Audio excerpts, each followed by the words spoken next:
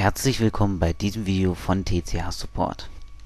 Wie wir hier sehen, ist hier rechts unten eine eigene Ebene und ich blende diese mal aus und dann ist die Form weg. Ich blende sie wieder ein, dann ist sie da. Und in diesem Video geht es um Effekte bzw. Ebenenstile. Die einfachste Art von Ebenenstilen ist natürlich sind die vorgefertigten. Hier oben kann ich auf Stile klicken und dann einfach mal hier durchklicken, welche hier mir angeboten werden. Und das sind die vorgefertigten Ebenenstile. Die kann ich natürlich auch noch individuell verändern. Ich nehme jetzt aber keinen Ebenenstil, sondern lege mir einen eigenen benutzerdefinierten an. Dazu mache ich einen Doppelklick hier drauf und komme in dieses Fenster. Das sind die Ebenenstile. Hier habe ich hunderte von Möglichkeiten. Eine der beliebtesten ist zum Beispiel der Schein nach außen. Wenn ich jetzt hier bei der Farbe Weiß nehme und das Ganze mal etwas nach außen blenden lasse, sehen wir schon, wow, ich kriege hier eine ziemlich coole, einen ziemlich coolen Schein nach außen. Das kann ich auch ein bisschen heller machen. Oder ich mache es normal und mit einer vollen De Deckkraft. Kann ich aber auch natürlich einen Schein nach innen machen in das Objekt.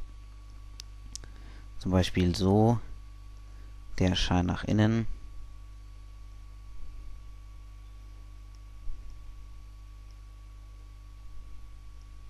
So, damit habe ich jetzt einen Schein nach innen. Und ich kann auch natürlich eine abgeflachte Kante oder ein Relief machen.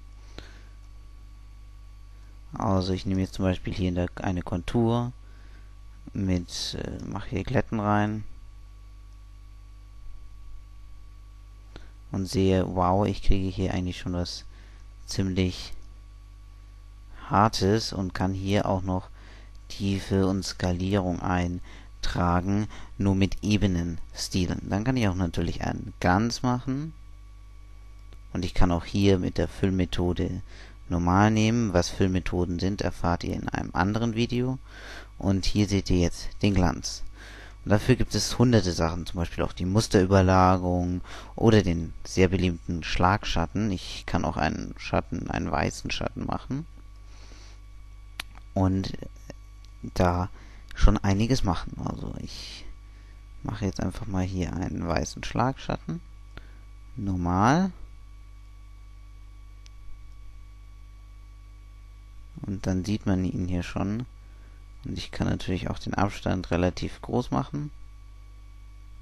Dann sieht man ihn weiter unten. Und wenn ich jetzt zum Beispiel den Schein nach innen und nach außen ausblenden lasse, sehe ich hier unten meinen Schlagschatten und kann ihn auch hier in der Richtung ändern. Das ist, sind die Ebenenstile. Okay, dann nochmal zum, zum Mitschreiben. Ich habe hier links die verschiedenen Möglichkeiten. Schlagschatten, Schatten nach innen, zum Beispiel hier Schatten nach außen und so weiter. Da kann ich die verschiedenen Sachen einstellen. Wenn ich hier oben in meinen Stilen, die ich hier finde, einen neuen machen machen, kann ich einfach hier einen neuen Stil eingeben. Rechts neuer Stil, mein Stil und kann dann, wenn ich das Objekt in Zukunft habe, einfach hier drauf drücken und zack, hat sich alles so hingebogen, wie ich das möchte. Ich kann natürlich auch ähm, mit dem Schein nach außen und nach innen alles machen. Das lässt sich hier alles genau einstellen.